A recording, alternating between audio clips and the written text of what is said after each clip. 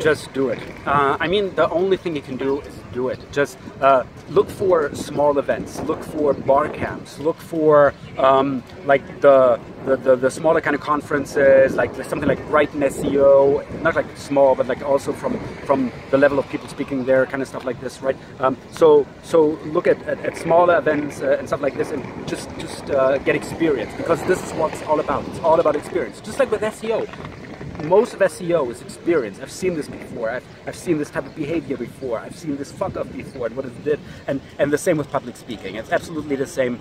You just have to get the experience, uh, how people react to what you say, how do you make them laugh, how do you engage them, how, how can you just like uh, prevent them from going to Facebook, right? Um, so just practice a lot, uh, search for good audience, uh, practice in front of your wife, your, your mom, your, your grandma. If they understand, you do fine.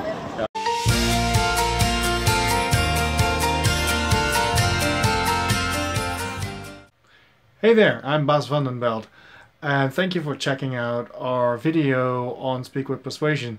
Make sure to sign up for our newsletter, free tips every week, and of course subscribe to our videos on the YouTube channel. It's really easy, just click below to subscribe.